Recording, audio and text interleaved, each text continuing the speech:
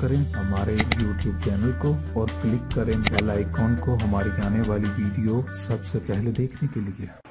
अस्सलाम वालेकुम व्यूअर्स मैं आपको अपने कुकिंग चैनल में खुश आमदीद कहती हूँ, उम्मीद करती हूँ कि आप सब खैरियत से होंगे। आज मैं आपकी खिदमत में मटन पुलाव बनाने का तरीका लेकर आई हूँ, लेकिन उससे पहले आपने क्या करना है, हमेशा की तरह मेरी वीडियोस को लाइक करना है फ्रेंड्स एंड फैमिली के साथ शेयर करना है। और जिन्होंने मेरा चैनल सब्सक्राइब नहीं किया, वो प्लीज़ प्लीज़ प्लीज़ मेरा चैनल सब्सक्राइब करें, ताकि आप मेरी वीडियोस को सबसे पहले देख सकें। चलिए देखते हैं कि मटन पुलाव बनाने के लिए हमें कौन सी चीज़ें जो हैं वो दरकार होंगी। इसके लिए स्क्रीन पर आप देख सकते हैं कि मैंने दो ग्लास पुराने चावल लिए हैं, बासमती। आप कोई भी पुराने या नए चावल ले सकते हैं। दो ग्लास लिए हैं। इसके बाद जो मैंने मटन है, बकरे का गोश्त, वो पौना किलो है 750 ग्राम। एक लच्छेदार कटी हुई प्याज, दरमियानी साइज़ की। एक टमाटर अदरक लहसुन का पेस्ट एक चम्मच वन फोर्थ टेबलस्पून हल्दी पाउडर, आधा चम्मच गरम मसाला, आधा चम्मच सुरख मिर्च पाउडर और नमक जो है वो हसबे जायका मैंने एक चम्मच लिया है।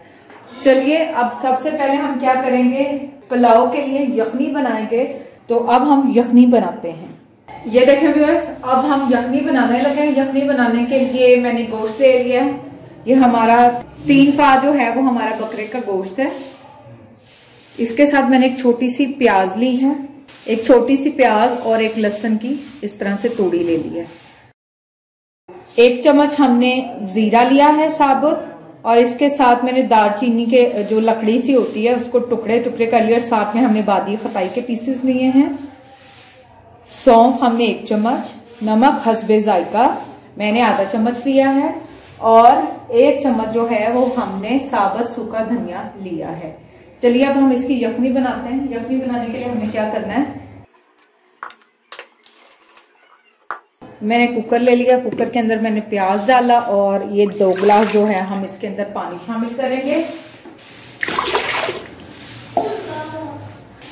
जीरा।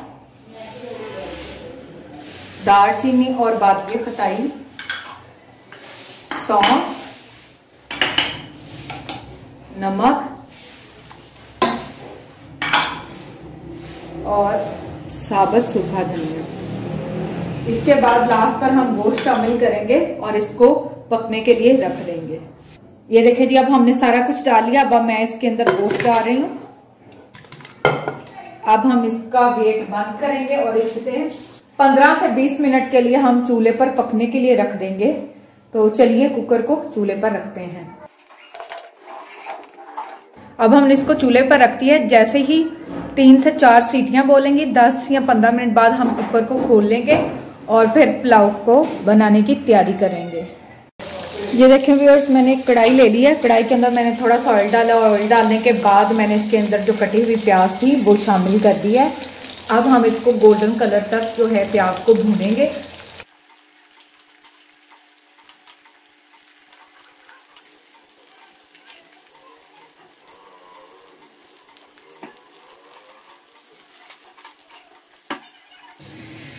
चलिए व्यूअर्स अब हम कुकर खोलते हैं। हमारी यखनी जो है वो ऑलमोस्ट रेडी हो गई है।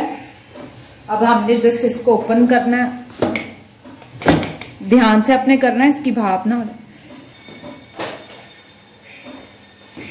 ये देखिए जी, हमारी यखनी बिल्कुल रेडी है और बोटी भी हम चेक कर लेते हैं, ये गली है या नहीं गली।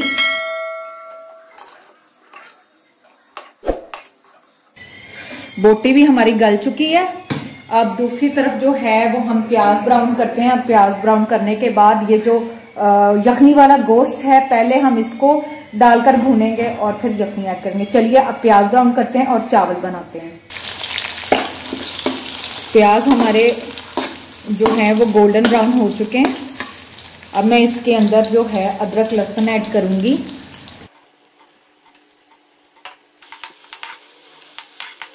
अब हमने इसके अंदर अदरक, लहसुन ऐड किया है। साथ ही हम इसके अंदर जो है टमाटर कट करके डालेंगे। टमाटर।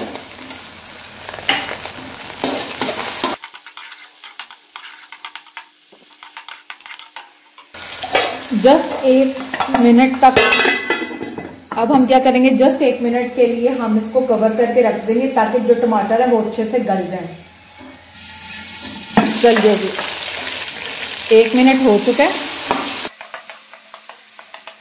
मैंने यहाँ पे टमाटर ऐड किए हैं, आप इसके साथ इसके अंदर हल्दी, दही भी इसमें ऐड कर सकते हैं। आप टमाटर और दही भी ऐड कर सकते हैं, या टमाटर या दही ऐड कर सकते हैं। मैंने अभी जस्ट जो है, टमाटर ऐड किए अब हमारे टमाटर गल चुके हैं। गोश्त, यखनी वाला हम इसके अंदर शामिल करेंगे।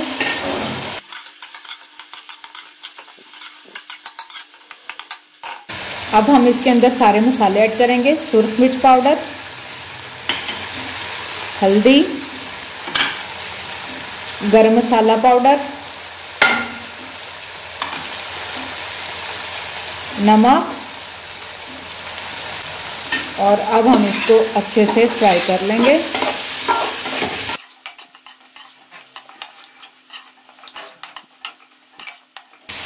अच्छा जी, मैंने आपको स्टार्ट में नहीं बताया, मैं इसके अंदर थोड़ी सी जो है वो इमली भी शामिल करूँगी। मैंने इमली ले ली थी थोड़े से। और इसको पानी के अंदर जो है भिगो लिया और भिगोने के बाद हम इसके अंदर अब क्या करेंगे, इमली वाला पानी ऐड करेंगे। मुझे थोड़ी सी जो पुलाव और बिरयानी है, ये खट्टे पसंद है। अच्छा लगता है टेस्ट अगर आप इसमें नहीं डालना चाहते तो आप ना डालें। थोड़ा सा हम पानी डालेंगे, एक से दो चम्मच। थोड़ा सा हमने इसमें पानी शामिल किया है और इसको आप ढांक के रख देंगे। ताकि इमली का जो पानी है वो उसमें अच्छे से जजब हो जाए और वो अपना टेस्ट छोड़ दे। एक मिनट हो चुका है। अब अब आप स्क्रीन पर देख सकते हैं कि इसने जो है वो ऑयल छोड़ दिया है। जस्ट एक से दो मिनट हम इसको और भूनेंगे। अब हमने इसको भून लिया अब जो मैंने यखनी निकाली हुई थी मैं इसके अंदर शामिल करूँगी।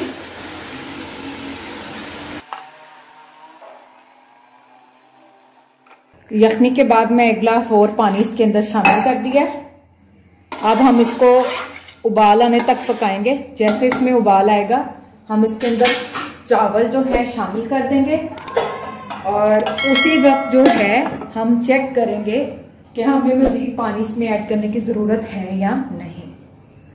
जब तक चावलों का पानी खुश्क हो रहा है हम तब तक पास जरदा रंग बना लेते हैं। इसके लिए आप मैंने ये येलो जरदा रंग इस्तेमाल किया है लाइम जूस कलर आप कोई भी अच्छी कंपनी का ले सकते हैं जरदा रंग। और इसके साथ मैंने थोड़ा सा, एक से दो चम्मच जो है, वो दूध के लिए और थोड़ा सा जो है, बिल्कुल हम एक पिंच के करीब फ़ूड कलर इसमें ऐड करेंगे। और अब हम इसको अच्छे से बना लेंगे। मैंने ये फ़ूड कलर दूध में बनाया, आप चाहे तो पानी में भी बना सकते हैं। इस तरह जो अब हमारा फ़ूड कलर रेडी हो गया, अब लास्ट पे जब दम आएगा, तब हम इसके ऊपर चावलों में ऐड कर देंगे। ये देखें जी, पानी में उबाल आ गया। अब हम इसके अंदर जो है, चावल शामिल करेंगे।